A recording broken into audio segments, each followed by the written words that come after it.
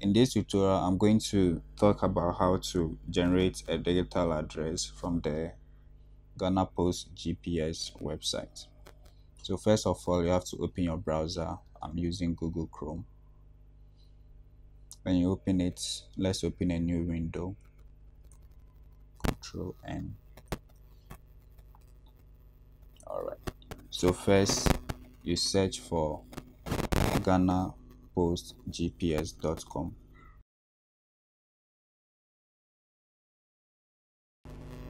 Now, when you open the website, when you look at the bottom left, you see a download button here. When you click on it, to give you the option to download it from Google Play Store, download the app from Google Play Store, or download it on the Apple App Store but in this case you are going to generate the address on the website. So you are going to choose the explore map option here.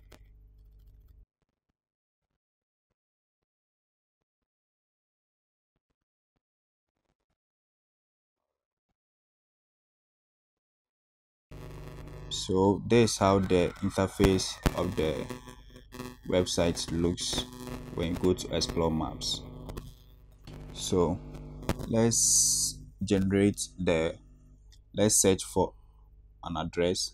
Now first to get an address you can search for the name of the place here or the coordinate. Then the gps then the ghana post digital address will be generated for you. So let's search um let's use the independence Independence Square and see what we get.